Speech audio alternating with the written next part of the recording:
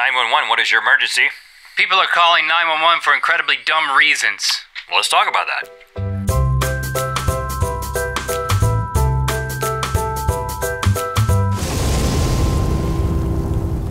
Good mythical morning. In this episode, I'm gonna take you through some of the dumbest Oh. 911 calls that I could find on the internet. I'm the type of guy that when something happens, I'm like, should I call 911? But I've never called 911. I have. Evident, you have? Yep. We'll talk about it later. Okay. Evidently, there are people, I don't think you have. I have. Evidently, there are people who err on the other side and they call 911 at the drop of any sort of a hat. Yeah. Sometimes literally if a hat drops. Yo, I gotta call 911. Now that's that's not on my list, but I've got some here, and Rhett, I'm gonna run these by you along with you at the same time, and you can analyze the merits of these calls. Okay? I, am relatively quick to call 911. Here's one. A 39-year-old Pennsylvania man phoned the Upper Macungie Township Police late one Thursday night Macungie, yeah. to report that someone stole his Jello from the break room refrigerator at work. this is for real.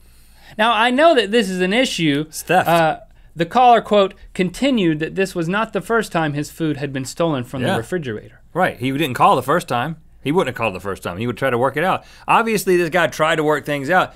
If his car got stolen out of the parking lot, would he call 911? Yeah. His, what's the difference between the Jello and the fridge, man? I well, mean, because it's, Jello. I don't think you want to uh, burden the police with this. It's it's a slight overreaction, but there was theft involved. That's all I gotta say. And Just, if you- justified. If you am I really, judging these? If you really sure. Justified. If you really love Jello, then maybe. The incident remains under investigation. yeah, it's tough to catch a Jello thief. Here's another one. Uh, Doyle Hardwick, age 57, became increasingly irritated when he wanted to check his Facebook profile in peace. However, his wife, Julie, refused to leave him alone, so he called 911. This is tough to defend. Now, b- Uh, before you, before you defend this one, uh, let's just take a look. Let's take a look at these people. Here's their give me the mugshots. facts. Give me the facts. Well, here's the mugshots. okay. You look respectable. The facts are Doyle first tried giving his wife a beer, hoping it would t- make her drowsy enough to fall asleep. That's what I always do. Instead, his wife continued to sit next to him so that she could watch him browse the internet and visit his Facebook profile. Uh, Doyle Hardwick was arrested and pleaded no contest to a charge of misusing 911. He was sentenced to 60 days in jail where he did not have access to his Facebook page or his wife, Julie. Related question: Did she ever try to watch him look at his Facebook again? Justified.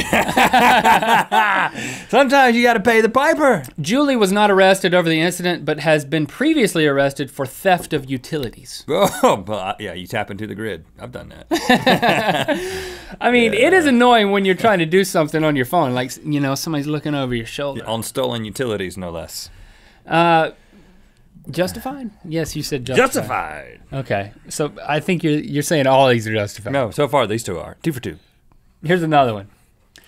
A teenage girl who shall remain nameless was home alone. She called 911 to report her home was being terrorized by, quote, a massive freaking creature. She went on to say, I'm home alone and there is a giant spider on the back of my couch, and I'm talking giant. I've never seen a spider this big, and I have no idea what to do. The dispatcher agreed to have an officer visit the girl's home.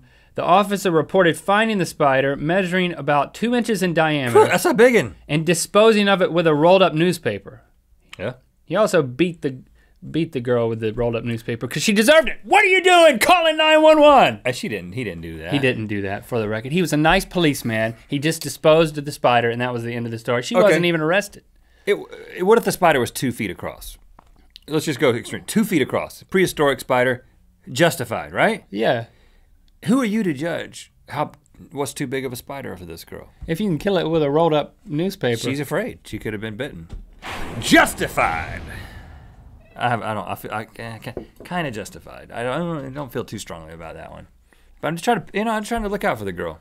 kind of. The of cop came and did it. He he justified that it was justified. Well, I, I'll say that I'm saying this one's justified too because I feel bad about making the joke about the officer beating her with the uh, magazine Yeah, you should. Or the rolled up newspaper. You should. I feel bad for that. It is now justified. Uh, that reminds me of another one I saw. A mother of two in Los Angeles calls 911 because, quote, there is a squirrel in my kitchen. That was my wife. Are you making fun of my wife? Yeah, I am. As you may know, my wife called 911 over a squirrel. That's We- why I'm defending the woman over the spider. All right, I got two more that are really great. This woman called 911 because she was stuck in her car. And there's a YouTube video of the entire one minute 911 call. Okay. So let's listen to it. All right. Emergency, emergency. Hi, um, I'm at the corner of Pleasant Hill and John Young Parkway. I'm in a Walgreens parking lot, and my car will not start. I'm locked inside my car. I cannot open my car.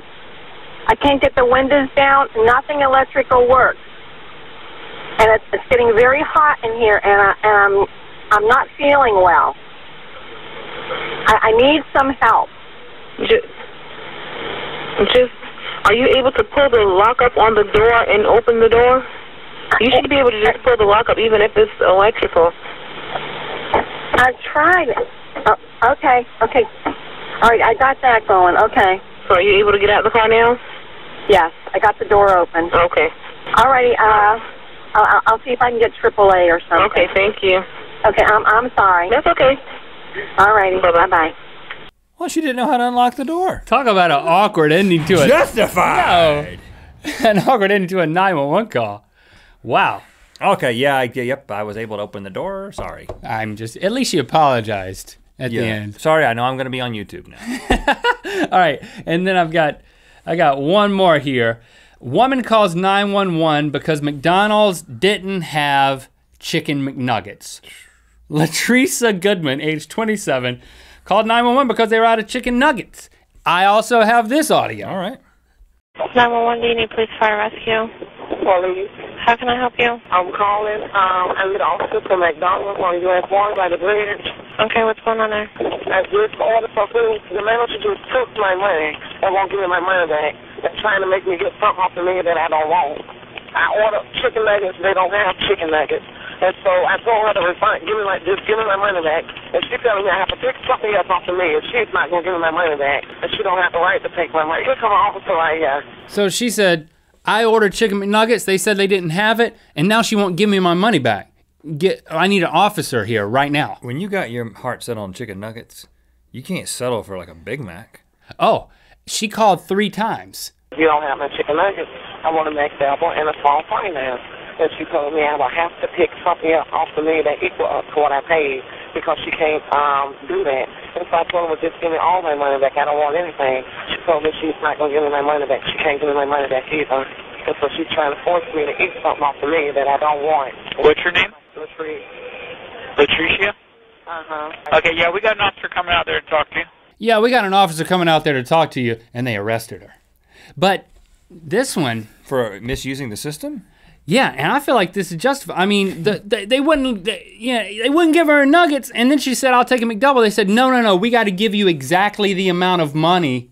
We got to give you something for the amount of money you've already given us." And what's up with running out of nuggets anyway? Yeah, you can't How- do that. You got to have nuggets on You- standby. You can't, you can't arrest Latricia for that. no. But they did.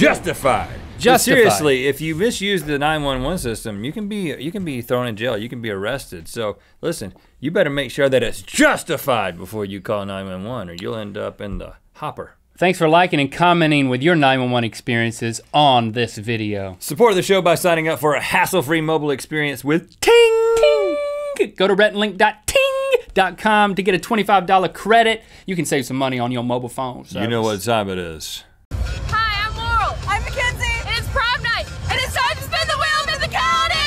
We wanted to make sure you didn't miss our special announcement video last week about the new show that we're launching, and we are looking for hosts. All the information is in that video. If you're interested, check it out. Also, click through to Good Mythical More where you're going to tell me about your 911 call for reals. Yeah, the legitimate one. And I've got some honorable mentions for stupidest 911 calls. Rhett is a man dictionary. Hey, I gotta look up a little word action here. You know what I'm gonna do? I'm gonna look it up in my man dictionary. Here it is right here. Hey, I was just wondering what onomatopoeia was. Onomatopoeia. Yeah, that, that's a word, right? It is a noun. Okay. what Would is- you like me to use it in a sentence? I can do that. I'd like you to tell me what it means. You have requested the definition of onomatopoeia. Yeah? Hey, I didn't, uh, Hello. what? I didn't get the definition. Definition is the meaning of a word.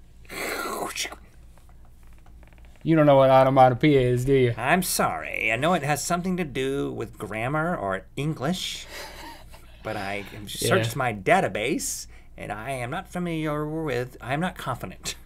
I'm not a confident dictionary. This is my first day. In fact, you're the first guy to open me. That's okay. I appreciate your. Can you honesty. tell me what it means so I can tell the next guy? Why do you think I'm asking you, man? Boy, this is an impasse. An impasse is a situation where you cannot proceed. Are you telling me that you think reverberate is what it is because it sounds like what it ma- it does? Yeah, reverberate. What? Are you being you're you're being stupid on purpose, right?